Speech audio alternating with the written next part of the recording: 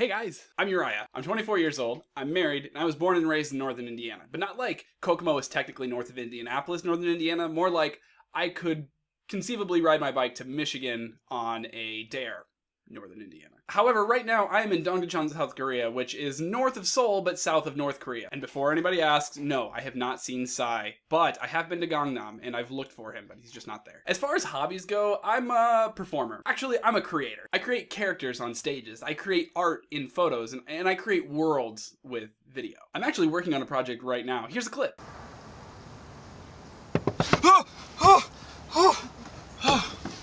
Good morning. On second thought, I'd better not show you any more of that. Uh, trade secrets and all that. You know, have to keep the press off my back. They're always watching. In the fall of 2012, when I first became a communication arts major, I was enrolled in a hybrid online slash in class class. I hated it. Well, I hated the online part anyways. The in-class part was great. Since then, I've had history online, hated it. Leadership as a hybrid course, failed it. Cross-cultural communications completely online, hated it. And human prehistory completely online, failed it. Yeah, so maybe me and online coursework just don't get along so well. But I do what I have to do, especially with me planning on graduating in December with a bachelor's degree in general studies. So yeah, let's see how this goes. Wait, people chose to take this class? I thought this was a prerequisite that everybody had to take. Wait, Get my advisor on the phone right now. Let's see. I used a digital single lens reflex camera to record this. I used a USB preamp to connect my condenser microphone to my laptop computer.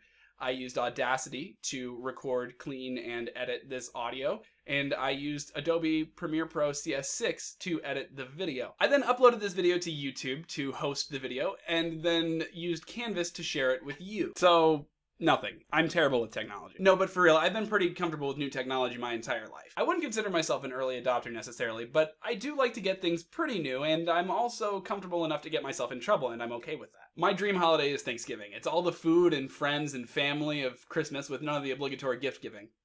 What was that? She's using holiday in the uh, the way the Brits do? Right.